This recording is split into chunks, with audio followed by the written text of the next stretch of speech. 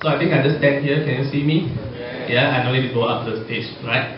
Okay, so uh, my name is Marcus. Actually, I'm a dietitian, work in a cancer hospital, right? Uh, 90% of my patients are cancer patients. So I'm hardly to see any patient who needs sport advice. But anyway, I'm no different from all of you. Yeah, I run. Next. A bit introduction on myself, okay? Uh, actually, I ran my first half marathon last year in Standard Chartered KL, right? Yeah, I bring my own pointer. okay, my first um, half marathon was last year, Standard Chartered. Okay, and then uh, I run few half marathons since last year until now, right? And this year will be my first full marathon for Penang Bridge, right? So I hope to see all of you at the finishing point, right? Next.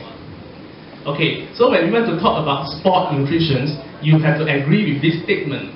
This statement actually came from three professional organizations, okay, uh, namely American Dietetic Associations, Dietitians of Canada, and American College of Sport Medicine, right?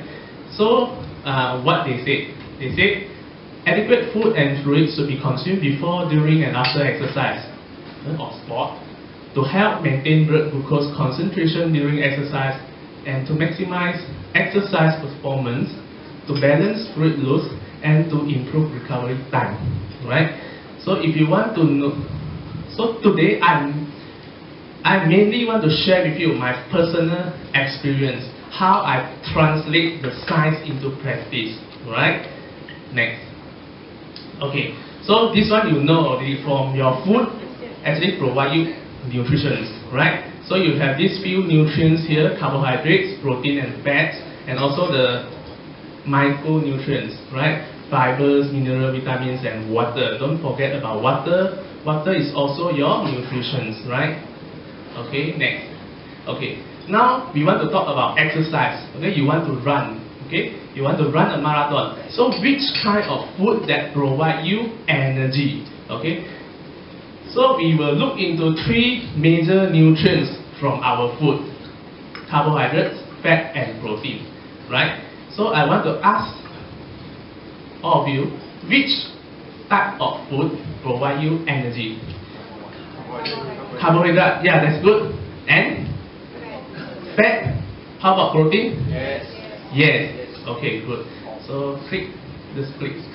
Yes, carbohydrate actually provide you uh, energy, and this is the main source of energy when you are doing exercise, right? And click. Fats also provide you energy, yeah? So don't think that fat is bad, okay? When you are doing exercise, actually you need fat, okay?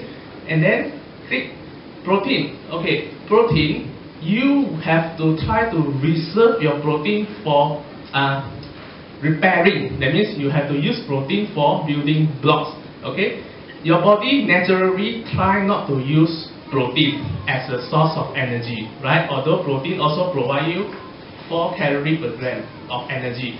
But your body naturally try not to use this protein, right? So you have to ensure that you have enough carbohydrate, mainly carbohydrate, and also fat for your energy when you prepare for your marathon, right? Okay, next. Hmm. This one a bit complicated. so I try to explain to you in a simple way. Yeah, when you are doing exercise or you run, actually your body use these three energy system. Yeah, how your body turns the food into energy, right? So we have three systems here. The first one we call it phosphagen system. Second, lactic acid system, and the third one oxidative system. Okay, so uh, anyone heard about this before? No. No. Uh? So I just okay, just click right. Okay, so the first one, phosphorus, phosphagen system, actually lasts for a few seconds only. Okay, so we will use this adenosine triphosphate. This one only lasts for a few seconds. Okay, this is fast energy, ATP, we call it ATP. And then the next one, creatinine phosphate, this one lasts for 3 to 5 minutes. So both of these is fast, fast energy, right? So both of these can found in your muscles, keep in your muscles. And the second one, we call it lactic acid system. This one lasts 2 to 3 minutes, right? And then this one will use your glycogen in your muscle and also glucose in your muscle. But this one actually can, uh, uh, okay, this one actually can create lactic acid. That's why when you run long, you, know, you run long, you feel your muscle soreness, right? Because of accumulation of this lactic acid. But don't think that this lactic acid is a bad thing. Yeah, actually your body can turn, yeah, can recycle, recycle this lactic acid for energy. So that's why when you uh, run, you run, you actually have to uh, have to okay have to do training. Yeah, training is very important. So if you want to run a marathon, you have to train your body so that your body can use this system very efficiently, right? Okay. So these two actually is a fast energy. Can you click? Okay, fast energy that means without oxygen. Okay, so when your body will use this, actually when you run a marathon and your body needs need all these three lah. Okay, but example like when you are running up here, up here, okay, or you are do your sprinting, 200 meters sprinting, or maybe uh, 200 meters before the finishing point, you want to sprint, you want to run faster, right? or maybe you want to over, overtake runners. Okay, so your body actually needs this first and second. Have fast energy. Okay, so without oxygen, right? And most of the time during a marathon, your body use the third system, oxidative system. Click? Yeah, this system lasts for any exercise longer than three minutes. Okay, so this one will use your glycogen in your muscle and liver. So when you do your carbo loading, right, later I will share with you about carbo loading, you actually load this glycogen in your muscle and liver, right? And also you use fat. Triglyceride is a kind of fat, okay, it's stored in your adipose tissue, blood and muscles, okay? Can you click? Ah, this one you need oxygen. This one is for longer exercise. Yeah, example marathon. You run marathon three to four hours. You need this okay? But actually, during the whole time of marathon, you, your body actually utilize these three uh, energy system. Okay, that's why it's important for you to train so that your body know how to adapt uh, with different conditions when you are in the marathon, right? Okay. Okay, this is a picture to show you what happened. Uh, okay, so that's why sometimes uh, before before you you run a marathon, you have to think. Okay, you have to do training. Yeah, you cannot, without training, then you go into a marathon. Example here, you have to train your body whether to use the first and the second fast, the fast energy system. Yeah, example how you train, you can train like um, tempo run or interval training. Yeah, this kind of training actually train the first and second energy system, right? Okay, tempo run, fartlek or whatever you can call it like your training. Okay, so when you fast or you use increase the intensity of your training. So your body will use the first and second system, yeah, ATP or glycogen phosphate, glycogen and glucose. So this one will create lactic acid. So don't worry about your muscle soreness.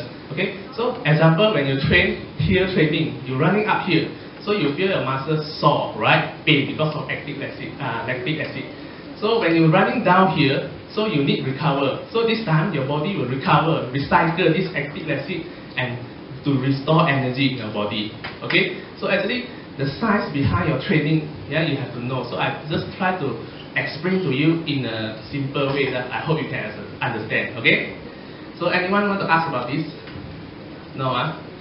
If no, so we just ah. One thing to highlight here, okay? So when you are running a marathon, okay, uh, exercise more than two hours, you your body use 50 to 60 percent of carbohydrate and 40 to 50 percent of fat.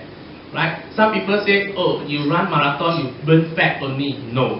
Okay? Your the major fuel for marathon is still the carbohydrate, but at the same time also use fat. Yeah. So whether you just want fat or you just want the carbohydrate is not correct. Yeah, you have to use both. Right? Next. Yes. So just now for the first step, uh, without for right? Yeah. The first and second, and this is just without oxygen. You no need oxygen. That means it's a fast energy, like an emergency. Yeah, understand? Make a, breathing. Mean, any technique? How to breathe?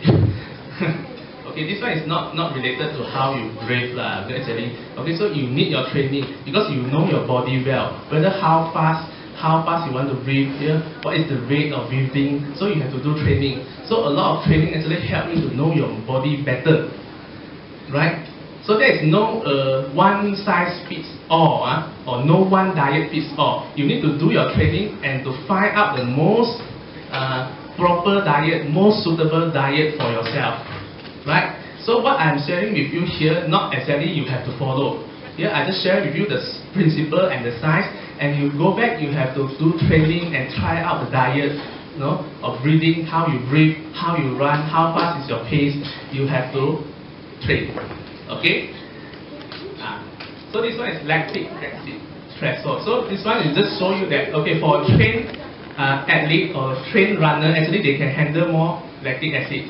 Yeah, so training is very important. Yeah, this chart actually show you that training is very important before you go into the marathon, right? Next. Okay, now I'm going to share with you the diet for your training days here. Uh, can you go back?